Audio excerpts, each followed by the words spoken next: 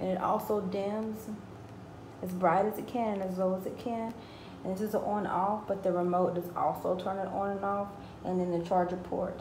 And um, I noticed that when it goes dead it blinks. Um, so just you know charge it. When it does that don't be don't think that it's broken or anything. But I love it. I love it so much I ordered two of them And